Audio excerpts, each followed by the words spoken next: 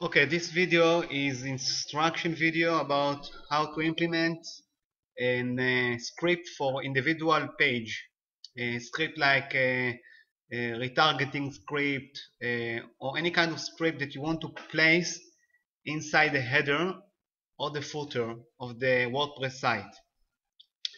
Now there are many uh, there are many plugins that uh, uh, causing this effect uh, on overall the site, all on all the pages. So it's not uh, on, on specific individual pages.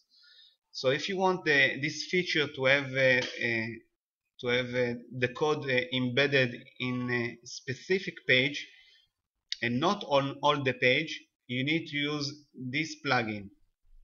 Okay, I will place the uh, the link in the footer. It's a great plugin. I just uh, tested it out now and it's worked very good. Okay, you just uh, uh, install the plugin and after you install the plugin you just go to the page uh, you got, just go to the page you want to uh, place this uh, place the pixel or the or the tracking code and you scroll down to the bottom of the of the page editor. And here you have the section of the OH add script. Now there is specific instruction how to use it. Before you place the the code here the the script the javascript or the pixel or the tracking code you need to place uh, these tags. Meaning you need to copy this tag as a beginning paste it place the code here okay? I just write it down. This is where you place the code.